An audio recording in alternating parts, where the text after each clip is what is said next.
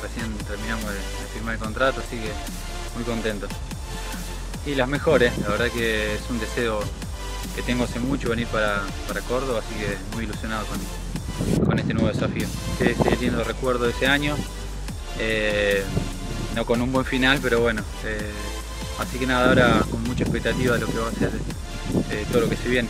Ah, eh, un poco de lo que soy como, como persona, más que como futbolista, así que eh, me deja tranquilo. Ojalá que, que siga siendo de la misma manera este año y bueno, podamos, podamos eh, tener una linda campaña en Córdoba. Eh, es un poco raro toda esta situación, así que bueno, esperemos que cuanto antes se resuelva eh, lo del torneo y podamos empezar a entrenar olímpica, la verdad que muy linda, muy linda cancha.